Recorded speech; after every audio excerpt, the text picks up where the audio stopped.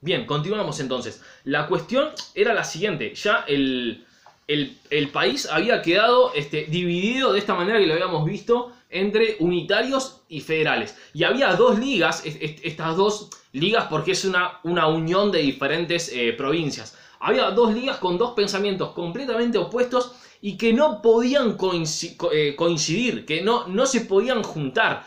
Porque uno quería una cosa y otro quería algo totalmente opuesto. En ningún momento, en ningún momento de, eh, de la historia argentina, por lo menos en la primera mitad del, siglo XIX, se logró hacer una unión entre, bueno, mira, agarramos un par de las cositas federales y agarramos un par de las cositas de unitarios, los dos perdemos algo, este, pero aportamos los dos una parte y hacemos un proceso lo que se llama una síntesis, en donde, bueno, terminamos, hacemos esta forma de gobierno en donde los dos salimos más o menos empatados. Nunca se llegó a, coincidir, nunca se llegó a, unir esos dos tipos de ideas, esos dos tipos de pensamientos, esos dos tipos de ideologías, este, y por eso la forma de, imponerse siempre trató de ser, tratar de imponerse uno por sobre el otro, uno por sobre el otro, uno por sobre el otro, utilizando la fuerza, porque por medio de los, diálogos nunca se llegaron a poner de acuerdo. Este, vamos a ver que en la segunda mitad del siglo XIX eh, se, termina, se termina dando la federalización,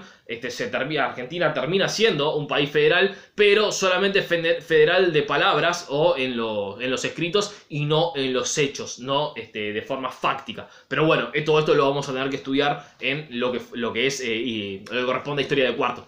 Pero bueno, de momento entonces, habíamos quedado así, que se hayan formado para, para el año eh, 18 1831, que es cuando se forma el, el pacto federal, este, para el año 1831 eh, Argentina estaba dividida de estas dos maneras, en la, la Liga Unitaria y la Liga Federal o el Pacto Federal. Este, ¿Y qué fue lo que sucedió? En Buenos Aires, como era inminente que iba a haber una guerra, de hecho ya había habido ciertos combates, ciertos cruces, este, como era inminente que iba a haber una guerra, lo que sucede es que en Buenos Aires se le da al gobernador Juan Manuel de Rosas, se le da lo que se conoce con el nombre de las facultades extraordinarias. Las facultades extraordinarias es algo bastante similar, bastante similar a lo que era el concepto de dictadura para los antiguos romanos. La cuestión era la siguiente, eh, se le da todo el poder en manos de una sola persona, en este caso al gobernador, se le da todo el poder en manos de, un gobernador y ese gobernador con ese poder en, en sus manos puede tomar cualquier decisión que quiere, cualquier decisión que quiere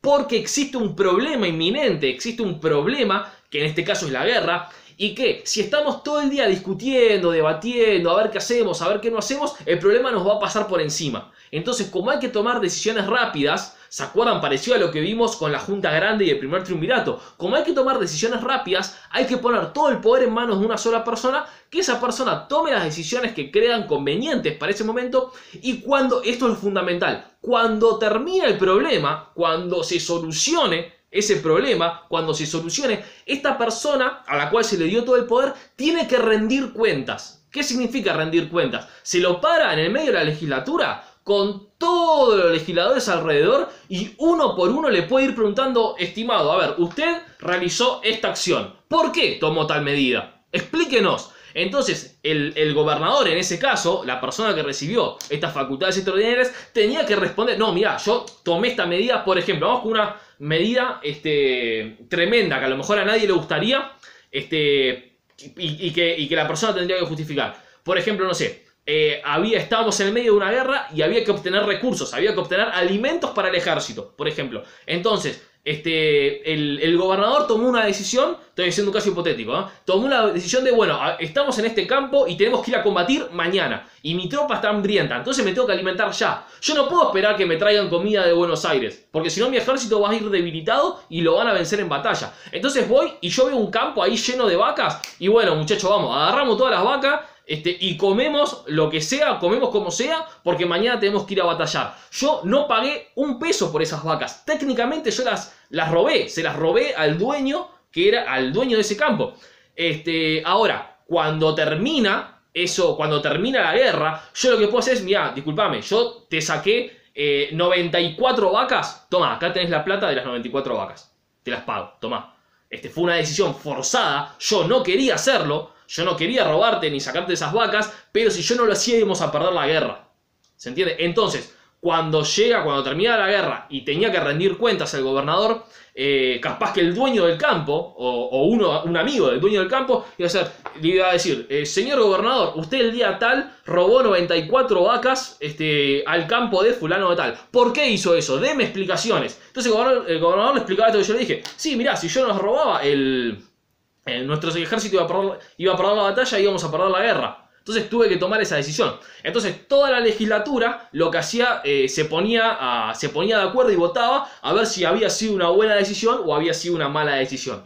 Y obviamente, como en este caso se demuestra que había sido una buena decisión, después la legislatura buscaba la manera de compensar a esta persona que había sido damnificada, que le habían robado las vacas para poder alimentarse. Entonces la legislatura después le pagaba este, a, este, a, este, señor que le habían sacado las 94 vacas, les pagaba las 94 vacas. Entonces, eso era lo que se llama la, eh, las facultades extraordinarias. Eh, y repito, se, daba un, se, se, impuso únicamente porque existía una cuestión de peligro, existía un peligro inminente que era esta guerra y que había que tomar decisiones rápidas. Pero es fundamental esto que, que acaba de explicar lo último, que una vez terminada esa guerra, una vez terminadas esas esa, esa concepción excepcional, este, la persona que había recibido la, las facultades extraordinarias tenía que rendir cuentas. Si la persona decía, no, mirá, yo esa decisión la tomé porque si no, mirá, si no lo hacía, si hacía agua por todos lados, la legislatura lo iba a culpar como responsable de lo que hizo e iba a estar completamente en contra de los actos que hizo. No es que tenía libertad para hacer lo que quería, no es que podía hacer cualquier cosa que quería, porque si no demostraba que había sido algo oportuno, algo bueno, después al que lo iban a recriminar era para esa persona y hasta podía haber juicio penal, este, podía haber, este, podía rodar su cabeza o lo que sea. Este, pero bueno, entonces, eso es lo que hablamos cuando hablamos de la, este, las facultades extraordinarias. Vamos a ver que es distinto lo que va a suceder en su segundo gobierno de Rosas. En el segundo gobierno de Rosas va a tener lo que se llama, lo que se conoce con el nombre de la, la suma del poder público. Eso es otra cosa, que ya lo vamos a analizar más adelante.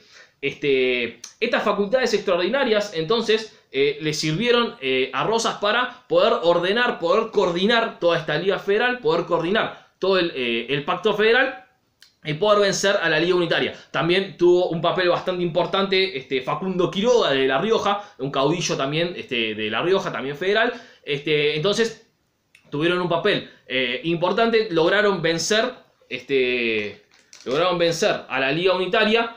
Este, y a partir de, eh, sí, ya el año 1832, no duró tantos años la guerra, a partir de 1832, una vez que vencieron a la Liga Unitaria, lo que hicieron, lo que hicieron las provincias del Pacto Federal fue, una por una, todas las otras provincias se fueron sumando, se fueron sumando al Pacto Federal. Hasta que, como terminaron venciendo los federales, todo el país, todo el país terminó siendo, terminó apoyando a la ideología federal. Entonces estaban todos de acuerdo, estaban todos convencidísimos de que se iba a... Eh, que todo el país iba a ser federal, ya todas las otras provincias del interior se habían sumado al pacto federal, a este pacto que habíamos explicado en el video anterior. Este, y bueno, ahora lo que, lo que tocaba, la, parte que, que, tocaba, la tarea que faltaba hacer, era eh, completar, una, eh, completar la unidad nacional con un Estado nacional. Ahora que, eh, ya sea por medio de las palabras o por medio de la, de la violencia, este, nos pusimos todos de acuerdo que todos tenemos que ser federales, voy a tacharlo de la Liga Unitaria, ahí estamos, este, ahora que nos pusimos de acuerdo que todos somos federales, listo, perfecto. Vamos a armar un país con un Estado central. ¿Qué significa? Vamos a crear la figura de presidente para hacerlo de forma más sencilla. Vamos a crear el cargo de presidente y que sea presidente de todos los argentinos, de toda la Confederación Argentina. Este, ¿Qué fue lo que pasó? Principalmente Buenos Aires decía, no, todavía no están dadas las condiciones Todavía no hay una verdadera unión, una verdadera consolidación, porque todavía siguen quedando unitarios. Entonces todavía no están las condiciones dadas para crear un Estado nacional y, lo más importante también, crear una constitución nacional. Recuerdan que venimos hablando desde la Asamblea del año 13 que se intentaba hacer una constitución y no había acuerdo, no había acuerdo, no había acuerdo. En este momento en donde los federales terminaron venciendo, este, la, la intención de la gran mayoría de las provincias del interior era, bueno, vamos a crear un Estado central, vamos a elegir presidente, vamos a crear una constitución, basta y otra cosa, y a pensar para adelante, basta de, guerra entre nosotros. Este, y Buenos Aires fue la que más eh, tiró para su lado, por, por, así decirlo, con la necesidad de no, eh, planteando que todavía no estaban las condiciones dadas para crear este, un Estado central y crear una constitución. Entonces no quería este, crear un Estado nacional, no quería crear, crear, una constitución. Claro, también se lo puede analizar desde el punto de vista de que, este, a ver, por un lado es verdad que todavía sigan quedando unitarios, 100% cierto. Por otro lado, también se lo puede analizar por el hecho de que Buenos Aires, teniendo la aduana y teniendo la... Eh, teniendo, siendo responsable de las relaciones exteriores y tenía mucho poder. Si bien era un estado federal en donde en teoría todas las provincias tenían que ser iguales, Buenos Aires tenía dos aspectos que la hacían ser más destacada que el resto. Por un lado, tenía el puerto, donde le ingresaba un montón de dinero, y con un montón de dinero es mucho más fácil tomar decisiones, este, y por otro lado, era el encargado de las relaciones exteriores. Si alguien quería tomar eh, no sé, tomar alguna medida con alguna relación exterior y bueno, tenés que ir a hablar con el gobernador de Buenos Aires. Y entonces tenía más ventaja que el resto de las provincias. Cuando tenés más ventaja, eh, también es más fácil decir, no, no, pará, todavía, todavía falta, o vamos a mantenernos así. Entonces es algo bastante complejo con esta cuestión. Para poder este, finalizar esto, porque esto, eh, este tipo de debates, este tipo de discusiones se prolonga también este, mucho en, en el tiempo. Este, ¿Qué fue lo, que sucedió? Eh, una vez que terminó eh, la, Liga Unitaria, una vez que los federales vencieron a la Liga Unitaria, este, ya Rosas se presentó ante la legislatura, rindió cuentas de los actos que había tomado. Sí, mira, yo tomé esta decisión por esto, hice esto por esto, hice esto por esto, listo, perfecto, buenísimo, muy bien. Toda la legislatura dijo, loco, fenómeno, tuvieron muy bien tomadas las decisiones que tomaste, este, eh, no, no, o sea, no, hiciste, en, ningún momento hiciste algo para favorecerte a vos mismo, sino que demostraste que todo fue para favorecer a la Liga Federal, al, Pacto Federal, así que fenómeno, buenísimo. Aprobamos, la legislatura aprobó las medidas que había tomado Rosas con todo el poder en su mano. Ah, eso me estaba, me estaba olvidando. Eh, ¿Qué significaba todo el poder en su mano? Todos los poderes en la mano significa tener el poder ejecutivo, el poder legislativo y el poder judicial. ¿Qué significa tener los tres poderes en la mano? Bueno, el poder legislativo es el poder que se encarga de crear las leyes.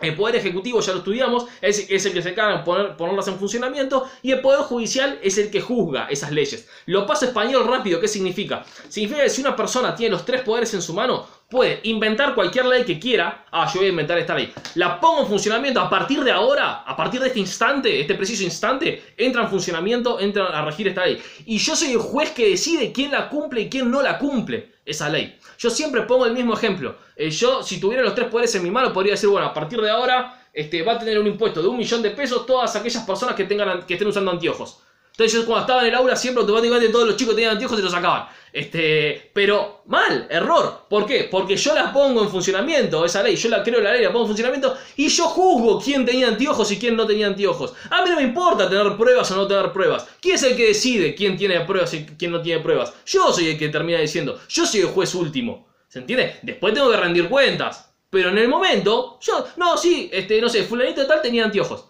No, profe, pero si yo ni siquiera tengo anteojos. No, pero para mí vos tenías anteojos. ¿Y? Si yo soy el juez, yo soy el que decide.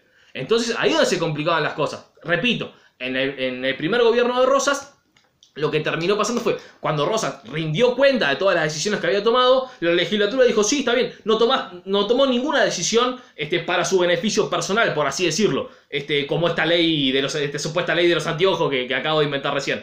Este, sino que demostraste que fueron todas leyes eh, buenas para el pacto federal. Perfecto, fenómeno. Como terminó la Liga Unitaria, como ya mencionó la Liga Unitaria, ¿qué fue lo que pasó? La legislatura dijo, listo, buenísimo, ahora te sacamos esas facultades extraordinarias, ya no las tenés más. A partir de ahora, este, vas a ser un gobernador normal. Solamente vas a ser el poder ejecutivo. Las leyes las va a hacer la legislatura. Las leyes las hacemos nosotros. Vos solamente sos el poder ejecutivo. ¿Qué fue lo que dijo Rosas? Dijo, mirá, si quieren que yo siga siendo el gobernador, yo quiero seguir teniendo las facultades extraordinarias. Si no, no soy más gobernador.